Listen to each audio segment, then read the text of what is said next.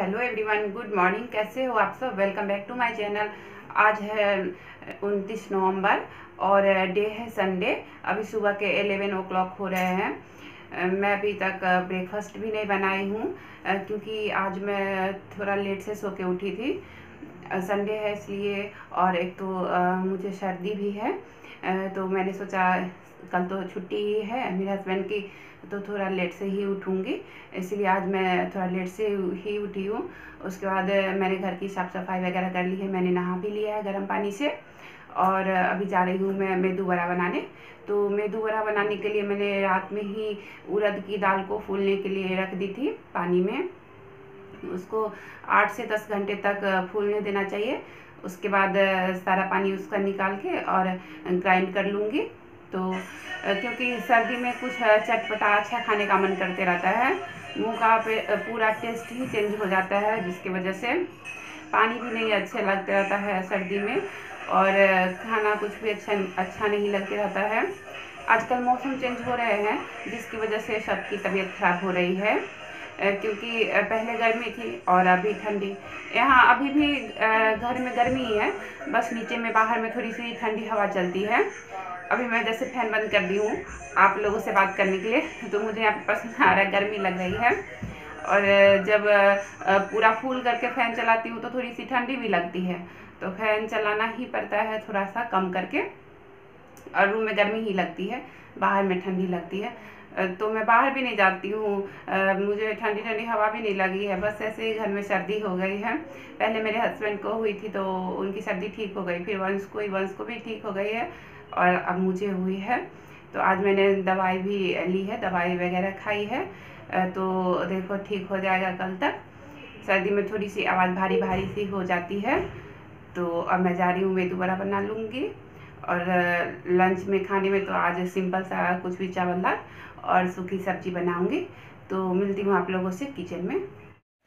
अब मैं आ गई हूँ किचन में और मैंने उड़द की दाल से सारा पानी निकाल लिया है और इसको मैं दो बार मिक्सर के जार में डाल के बारीक ग्राइंड कर लूँगी। तो अगर ये नहीं ग्राइंड होते रहेगा तो मैं इसमें एक चम्मच पानी डाल दूँगी, एक चम्मच ज़्यादा नहीं और फिर दो बार मैं इसको ग्राइंड कर लूँगी। मैंने एक बार जो मिक्सर के जार में दाल को रखी थी ग्राइंड करने के लिए, उसको मैंने ग्राइंड कर ली है और दूसरी बार मैंने जो रखी हुई है ग्राइंड करने के लिए, वो मैं इसी तरह से बाकी के बचे हुए दाल को ग्राइंड कर लूँगी। मैंने दाल को ग्राइंड कर ली है और अब मैं इसमें एक चम्मच वो चावल का आटा मिक्स कर दूँगी।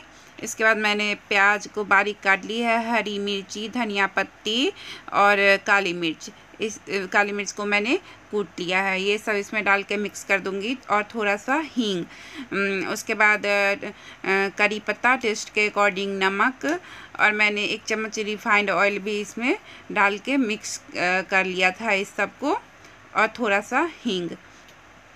साथ ही मैंने ऑयल को भी गर्म होने के लिए रख दिया है। इस सबको अच्छे से मिक्स कर लूँगी। उसके बाद ऑयल में मेदू वड़ा बना के मेदू वड़ा का शेप दे के और फिर गोल्डन ब्राउन होने तक फ्राई कर लूँगी।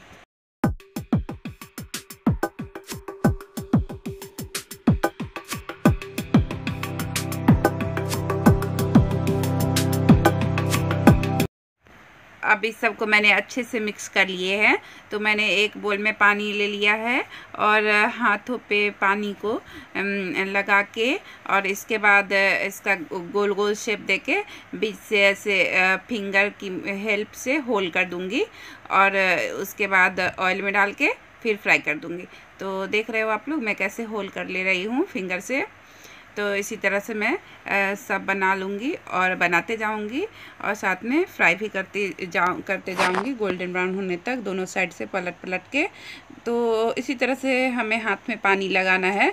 पानी नहीं लगाओगे तो दाल चिपकने लगती है हाथ में। इसके लिए और ये खाने में बहुत अच्छा लगता है, मुझे तो बहुत पसंद है ये। इसके साथ आप वो नारियल की चटनी, सांभर कुछ भी बना सकते हो, बट मैंने वो सब नहीं बनाया था। मैं धनिया की पत्ती धनिया पत्ती की चटनी बनाई थी। उसके साथ ही हम लोगों ने आज नाश्ते में ये खाया है। वंश के लिए मैंने अलग से निकाल दिया है। उसमें मैंने मिर्ची नहीं डाली है और ना और ना ही काली मिर्च।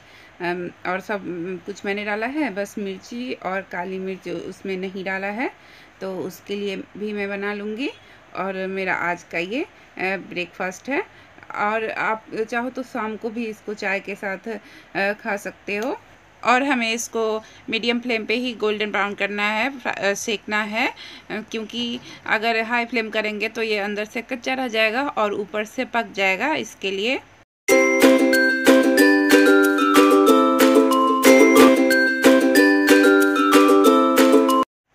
मैंने जो पहले फ्राई करने के लिए रखा था ऑयल में, उसको मैं पलट दे रही हूँ क्योंकि वो एक साइड से गोल्डन ब्राउन हो गए हैं इसके लिए। इसी तरह से मैं बाकी के सब बनाते जाऊँगी और साथ में फ्राई करते जाऊँगी।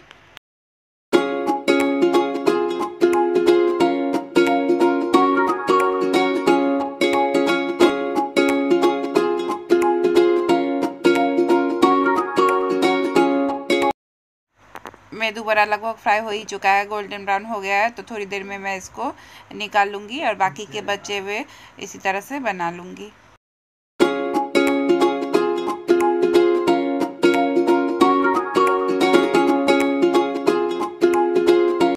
में दोबारा बन के रेडी हो गया है और मैंने इसको प्लेट में निकाल भी लिया है। तो आज हम लोग इसको धनिया पत्ती की चटनी के साथ खाएँगे। ऐसे नारियल की चटनी, सांभर, इस सब के साथ भी बहुत अच्छा लगता है बट मैंने वो सब नहीं बनाया है। तो आज हम लोग इसी के साथ खाएँगे और ये खाने में बहुत अच्छा बना था। बहुत क्रिस्पी भी था यम्मी था वंश को बहुत अच्छा लगा। हम लोगों ने भी खाया। सो जब शाम के फाइव थर्टी हो रहा है। अब मैं जा रही हूँ शाम की दिया जलाने। आजकल शाम जल्दी होने लगी है फाइव थर्टी पे ही शाम हो जाती है। गाँव में तो फाइव ओ क्लॉक में ही शाम हो जाती है, अंधेरा हो जाता है। आजकल ठंडी में क्या होता है, दिन छोटा होने लगा है और रात बड़ी। बट सोने के बाद पता नहीं चलता कि रात कब बीत जाती है। मुझे तो लगता है कि रात और बड़ी होनी चाहिए थी। दिन तो मुझे भी छोटा लगता है, क्योंकि दिन में इतने सारे काम होते हैं कि कब सुबह होती है, कब शाम होता है, पता ही नहीं चलता है। और अभी मैं जा रही हूँ शाम की दिया जला लूँगी। तो आप लोग के इधर ठंड है या नहीं बताना। मेरे इधर तो अभी मैंने आप लोगों को बताया था सुबह में कि नहीं है घर में। बिल्कुल भी नहीं है, गर्मी ही लगती है।